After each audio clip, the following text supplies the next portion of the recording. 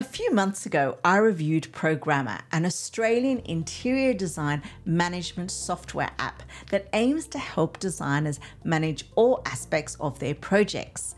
These include scheduling, task management, procurement, a client portal, bulk quoting, project management, time tracking, image management, and more.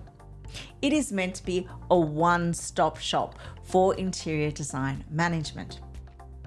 In this video, I'm going to tell you more about Programa. My name is Joanne, and I'm an interior designer and interior design business coach with a special interest in technology. If this sounds like something you would be interested in, don't forget to like and subscribe so that you don't miss a thing. Back to Programa. There have been a number of updates to the program, so I thought it was time to review Programa again. If you haven't seen the original Programa video, I'll leave a link in the description. This new video will focus on the main changes an upgraded client portal, invoicing and procurement, as well as some suggestions for best practices for use. So, if you are considering investing in a design management app, you are in the right place. So let's get into the nuts and bolts.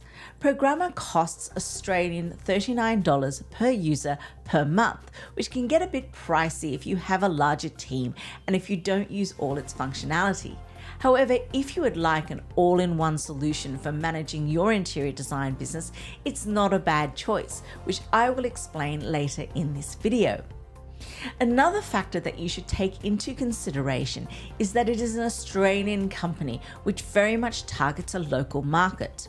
Now that I've moved back to Hong Kong and often bill my clients in multiple currencies, Programa will not work for me. It is very much geared to an Australian clientele. You are not able to change currency, though you can change your tax rates. But if you're in Oz, setting yourself up in Programa is simple and it integrates with Stripe for payments and Xero for accounting.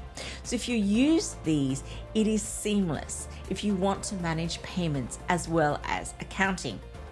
I have to admit that I have a soft spot for Programa's good looks. It has a streamlined and minimal interface. The ability to customize branding is relatively limited. At the moment, it looks as if you can just upload your logo, and in the client portal, you are able to upload a cover image, and that is it for the moment. Navigation around the app is also simple. The left sidebar is clean and uncluttered, which keeps it easy to navigate around the main functions of the app. So let's head into Programa and let's talk about how most designers would use it. You would start in the Projects tab. As you can see, you would set up your project here.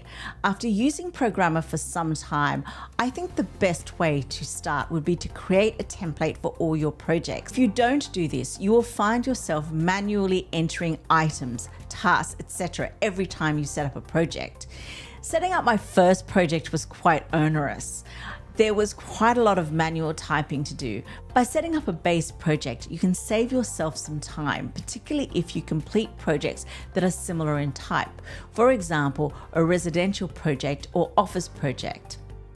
The next tab is the Studio Work in Progress. The Studio Work in Progress is intended to be a consolidated view of all tasks across all projects. Rather than clicking on each individual project to view your active tasks, you can now see them in one organized space. In theory, this makes it easier for you to track deadlines, resource staff time, and build your weekly program across all projects. However, instead of entering in items here, you need to hop over to your project board and set up your project. I've never used this for project management. If you take a look at my Notion project template, you'll see I'm used to creating different views for tasks and duplicating the whole project in one click. Programa works quite similarly, except it's in a Kanban view. You can use the tagging feature so that you can not only sort by assignee or due date, but also by label. There's also a handy time tracker here so you can log time easily. I'll talk about this a bit later. And finally, like any Kanban board, you can just drag the card.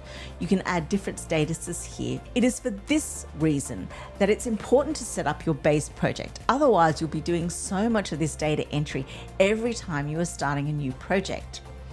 The to do list is a bit of a strange one. In the program notes, it says that the to do lists are an easy way to stay atop of your small daily tasks. They don't show up in the studio work in progress and they are meant to be personal. As Programa is meant to be a task management system for projects, this small functionality is a bit of a waste of time. However, if you're a sole operator and you don't want to use anything else, then of course, this is a very simple way of keeping on top of your tasks. However, you can't change these tasks to a studio work in progress if you need to later, which I think is a bit of a loss. I'm going to get to the product library, but first, let's talk about the time tracker. This is new and improved and now can be easily linked to your studio work in progress. One of the big improvements is that you can export the data to Excel. This is important because you might want to later analyze how much time you spent on a task. The spreadsheet does not appear to be customizable, but it has enough information that you need for further analysis. Now let's talk about the product library. I like the concept of a product library. In this one, you can sort, but I find the images are too large and it would be nice to have a list view of products. I also think it would be helpful to be able to sort by the date uploaded. If you plan to use Programa for many years, your taste in the availability of products will change over time. So it'd be great to be just able to look at the products that were uploaded in the last year, rather than having to scroll through thousands of images to find the one you want. After a few years, you'll have to schedule time to delete products that are discontinued or that you don't want to use anymore. Now let's head over to the image library. This is one of the things that I don't think Programa does well at all.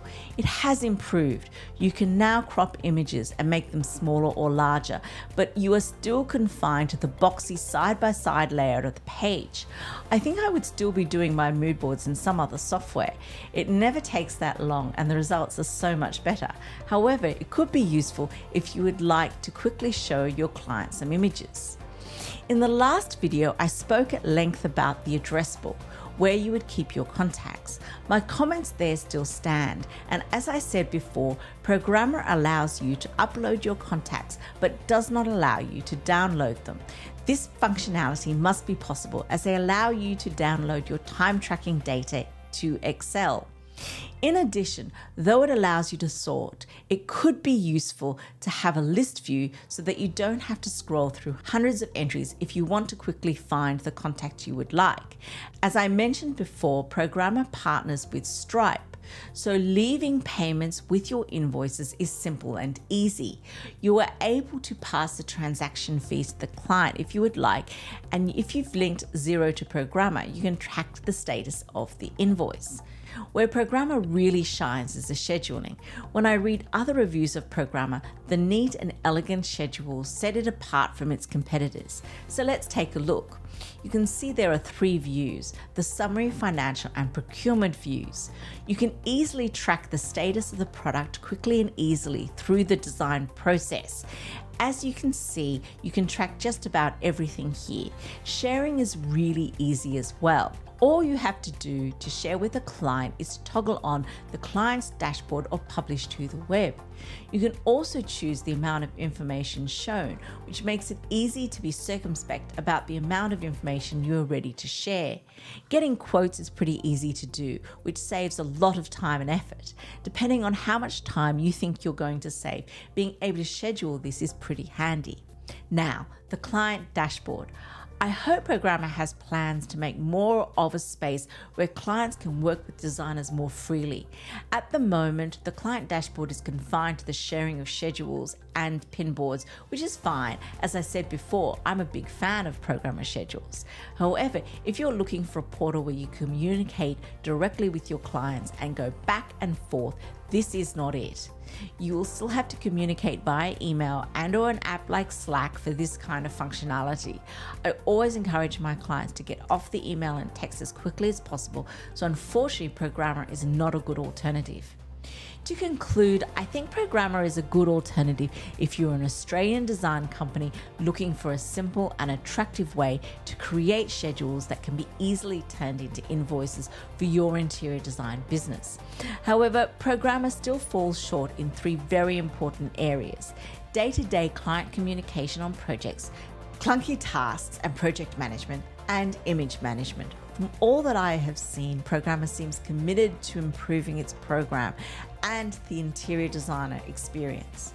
Finally, as I mentioned in the previous video, the other big overriding concern that I have is the inability to control information you should be able to download the information you have entered into Programa into another format, whether this is CSV, Markdown, or HTML.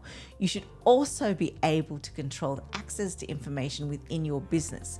If you look at the schedules, any internal user of Programa has the ability to change markups, see pricing, discounting, etc.